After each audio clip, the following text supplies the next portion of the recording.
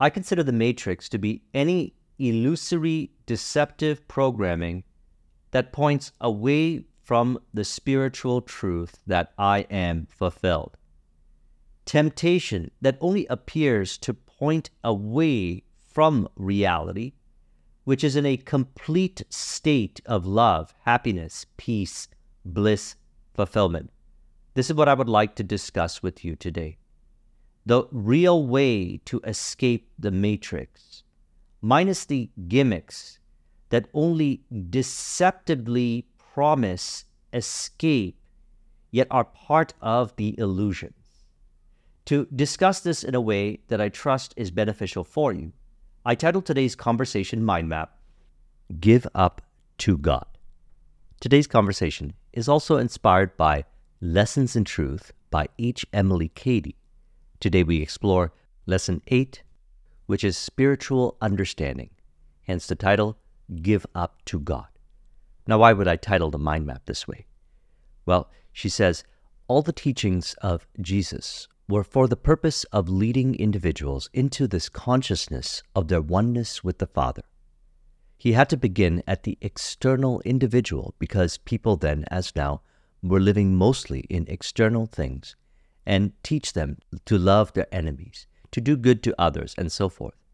In other words, he told them how they might find the kingdom of heaven within themselves, the kingdom of love, of power, of life.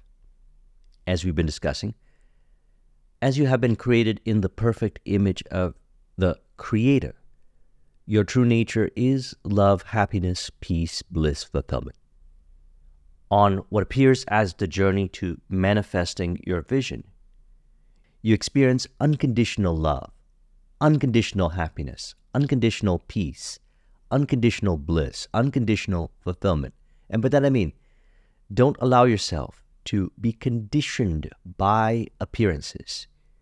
Because on the journey to manifesting the vision, you actually experience that when you release the control, release the need to attach to appearances, you appear to remain blissful, experiencing happiness unconditionally, blissfully, and fulfilled peacefully.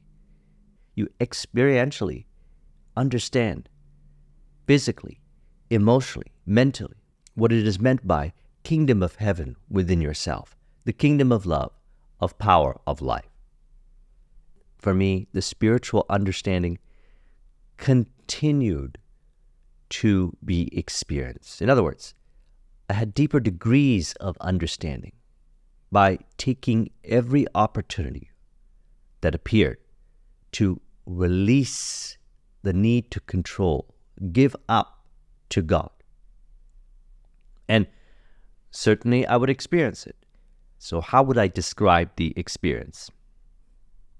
Well, I mentioned that in 2017, I made flow a priority because when I took an inventory of my life up until that point, I discovered that where I was the most joyous, happiest, loving, fulfilled, productive, things were appearing to go my way, harmonious relationships, was when I was in flow state.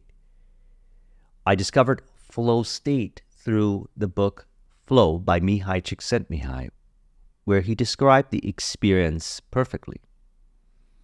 What he also described was a deep state of flow, which he calls autotelic, where actions and awareness become one. That to me was an experience of what she says realizing the oneness with the Father, actions and awareness being one. So prior to 2017, I wasn't making flow a priority. So there would be, we could say, periods of appearing to control unnecessarily, not giving up to God, unnecessarily forcing, trying to manipulate this world to get a result.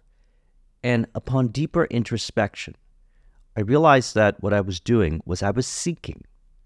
I was seeking for love. I was seeking for happiness. I was seeking for peace, for fulfillment, for bliss.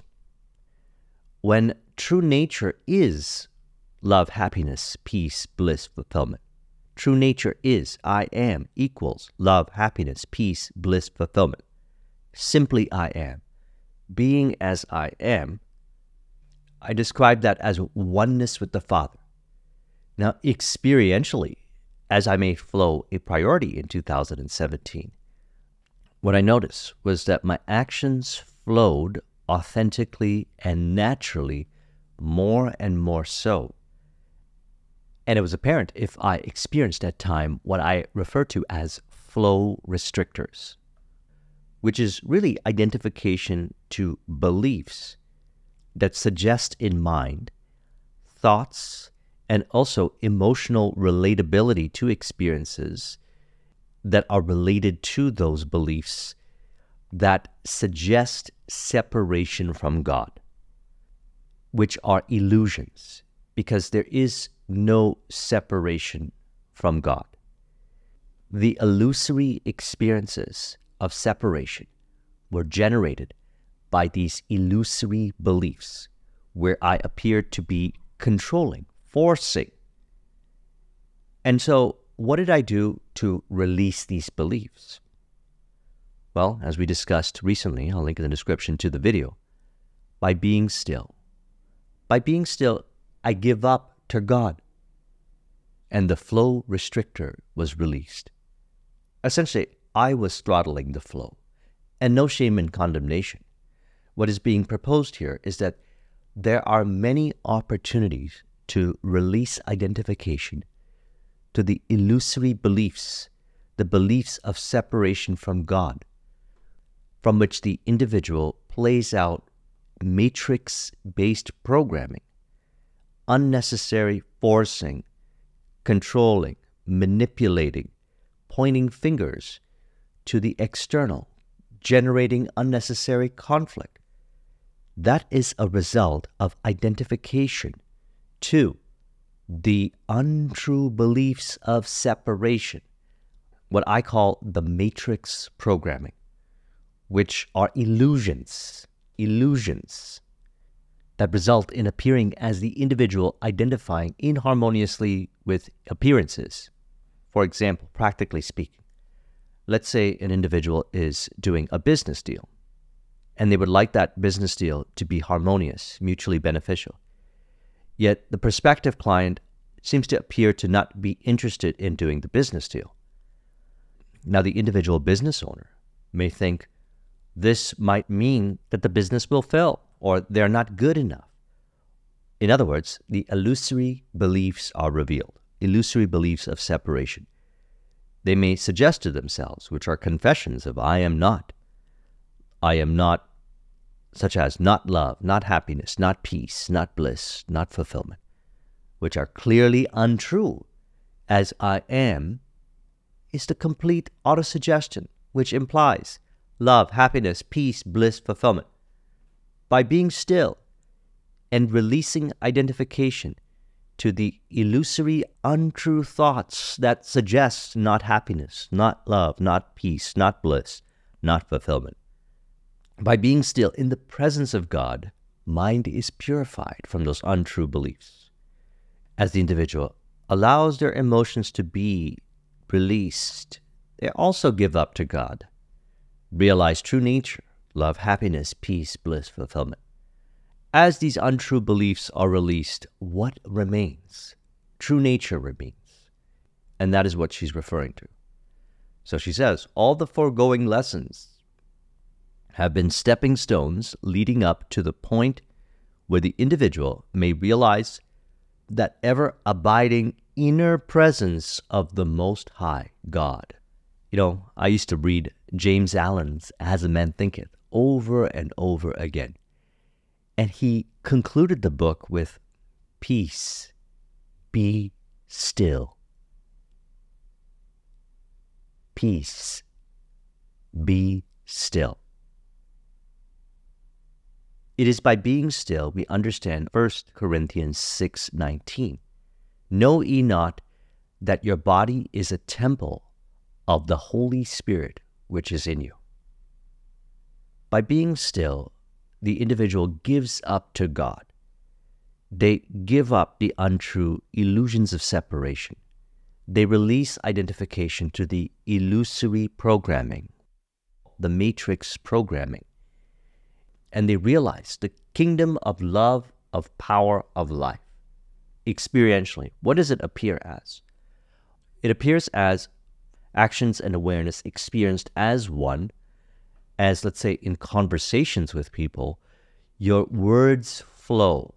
You speak authentically, and as you speak, you are not seeking approval, validation, or confirmation of the fact that you are love, happiness, peace, bliss, fulfillment. And so the conversations in personal relationships flow. There's an interesting book called The Charisma Myth by Olivia Fox Cabane. She speaks about power, presence, and warmth. Power being direction. As the individual gives up to God, and by that it means specifically to be as I am, they manifest the true power of God wherever they appear. And by that I mean it is infused in everything that they do their creative expressions, their conversations, whatever they do. And they authentically do it. And many benefit greatly from the products or services they create, if they're entrepreneurs, if they're artists, their artistic expressions by simply being as I am. Everything happens ideally automatically, everything flows naturally from living spiritual understanding. As they have given up the illusions of separation that were only a result of the illusory beliefs that were clearly untrue, as they were implying not happiness, not peace, not bliss, not fulfillment, so thus they gave up to God and they remain as I am. Another way I like to say this is I relax into knowing that I am. Simply being as I am. And so for me, this was naturally what arose more and more so. And for more details of how I did this, I put together the Flow Based Life series, which I'll link to in the description, and I trust you'll enjoy that. So, all in harmony appear from understanding. She says the individual may have been living in the external of their being and have believed themselves to be cut off from God, which is illusory, it's untrue. As mentioned, if the individual believes that they are separate from God, they generate illusory experiences, we can say, as a result of identification to illusory realities, generating further separation from God. There's only one true reality of God, and that true reality for you, created in the perfect image of the Creator, via the God self concept, as we discussed in Sunday's video, is experienced effortlessly through giving up to God, releasing the control, as creation is naturally in a complete state of love, happiness, peace, bliss, fulfillment. She says, Your first step after coming to yourself, like the prodigal son, is to say as he did, I will arise and go to my father.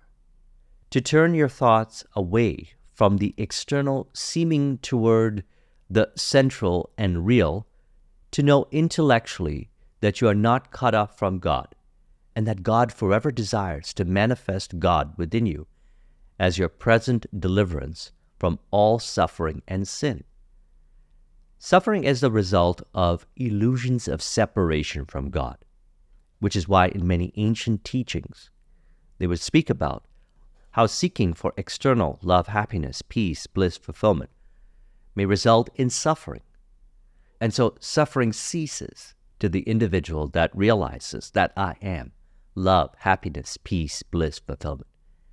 I relax into knowing that I am. I rest assured in knowing that I am, experientially. This particular practice, which again is being still, releasing the need to control, allowing the emotions to be released, allowing the thoughts that are untrue to be released, purifies the subconscious mind from the untrue beliefs that generate the illusory experiences that are not from the premise of truth. For more detail on this, I'll link to two videos that I released recently discussing the seven day mental and emotional diet, a dual approach, as some may be more identified with particular thoughts, through which they shame or condemn themselves for experiencing emotions a particular way. Which, again, as we see clearly now, it is the result of illusions of separation based beliefs. All of these may be released through those two videos. I'll link in the description to them. So, the simple practice of applying what's being discussed here is on the journey to manifesting your vision, whatever it may be ideal harmonious relationship, entrepreneurial success, whatever it is that you desire. Take the opportunities that are presented along the way to give up to God, to release the unnecessary control. If they present themselves, where do they present themselves? The way I describe the opportunities presented is if ever I feel that I need to control, force, or manipulate, that is a moment of opportunity. In that moment, be still. Abide as I am. Be as I am. No separation between you and the Father. By being still in the presence of God, you experience true nature you understand experientially what I mean when I say the God self concept, as we discussed in Sunday's video. I'll link in the description to that. Perfect concept of self, as when embodied to higher and higher degrees, the individual experiences unconditional love, happiness, peace, bliss, fulfillment, regardless of appearances. For example, in business, if the prospect appears to want to do the deal with you unconditional happiness. If the prospect appears to not want to do the deal with you, unconditional happiness. You are not phased because truly you exist beyond the appearances. You are not phased by appearances. It's only illusions of separation, the untrue beliefs, that result in the individual allowing themselves to appear to be phased by appearances. Now, this is a practice one that you get better at through practice. So we can intellectually think about what she is pointing to, which can be helpful for starting the journey. Yet ultimately, we practice this and understand it at an experiential level. She says, sometimes the individual will be almost overcome by questions and doubts arising in their mind when they are looking in vain for results which again is seeking externally for what they already have, seeking externally for fulfillment. Rather, they already have it. So we see clearly now that this is an illusion.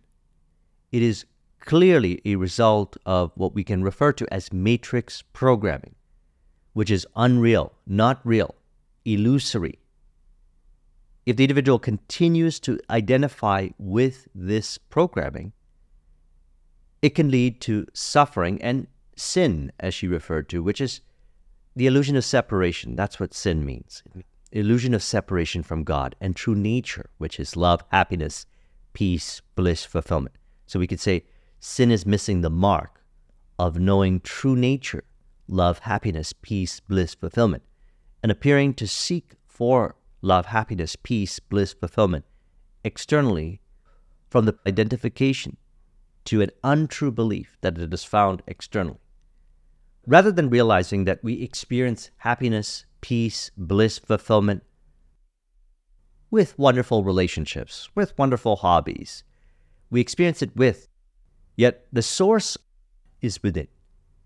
So once we realize that the source of happiness is within, the individual gives up to God and then, practically speaking, experiences love, happiness, peace, bliss, fulfillment with or without the appearances appearing a particular way, in which the individual says, if they appear this particular way, then happiness. If not, then not happiness. The spiritual fact is they experience experiential happiness more and more so as they realize that they exist beyond the conditioning that they may have formed in mind to appearances. And also, interestingly, happiness, love, peace, bliss, fulfillment based experiences appear more and more so as they have released the illusions of separation. This has been my experience as well.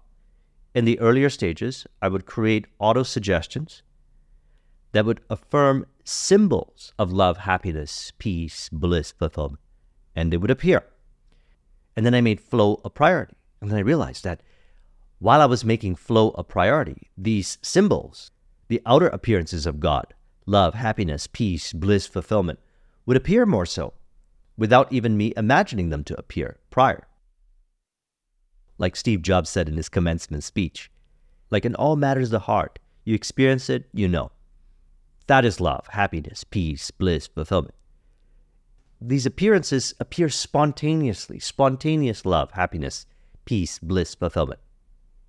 And also, what I would notice is the illusions of condition, the illusions of separation, conditioning would disappear more and more so that I would experience spontaneous wherever I appear love, happiness, peace, bliss, fulfillment. And when I did imagine things that were symbols of love, happiness, peace, bliss, fulfillment, they would appear easier and faster. So it is certainly true then what was being pointed to in the beginning. Let's go back to this part here. She said all the teachings of Jesus were for the purpose of leading the individual into this consciousness of their oneness with the Father. He had to begin at the external individual because people then, as now, were living mostly in external things, which is an illusion. It's illusory to live in external things. All everlasting love, happiness, peace, bliss, fulfillment, true unconditional love, happiness, peace, bliss, fulfillment is available now. It's here now. Where is it? You don't need proof, validation, confirmation. It's here now. You feel it. If you take a moment to be still if thoughts that are untrue, that suggest not love, not happiness, not peace, not bliss, not fulfillment, arise in mind, they are clearly untrue. They only appear to disappear. And so we allow them to disappear. If strong emotions arise, we allow them to release without labeling them inharmoniously from beliefs of separation as in the individual, is not love, not happiness, not peace, not bliss, not fulfillment, for experiencing emotions. Allow the emotions to be released. As the untrue thinking identification is released, as the emotions are allowed to be released, reality is experienced. We experientially feel love, happiness, peace, bliss, fulfillment. We have successfully given up to God. And as we continue this practice, you can dedicate moments each day. I do the Vipassana meditation where I experience this. I'll link in the description to the Vipassana guided meditation. And also, as mentioned, this can be done in relation to what appears, where the individual may be suggesting to themselves illusions of separation, which can reveal identification to the matrix programming, which is illusory. Those are moments of opportunity to release identification to the illusions, the untrue, the illusory realities, to experience the one true reality of God. Thus, give up the false illusions to God and experience your true nature. So I trust you found this video to be helpful. Let's conclude this with an auto suggestion to further encourage. You could say, I give up to God as I know that I am love, happiness, peace, bliss, fulfillment. As I remain as I am, it is crystal clear I operate automatically and ideally from the premise of truth, manifesting appearances of God as love, happiness, peace, bliss, fulfillment based appearances in harmonious relationship with environments, information, people, to manifest heaven on earth with increasing frequency on a continuous basis as far as the senses perceive. If you would like a copy of this mind map, the link is in the description. Thank you very much for watching. I'll talk with you soon. Take care.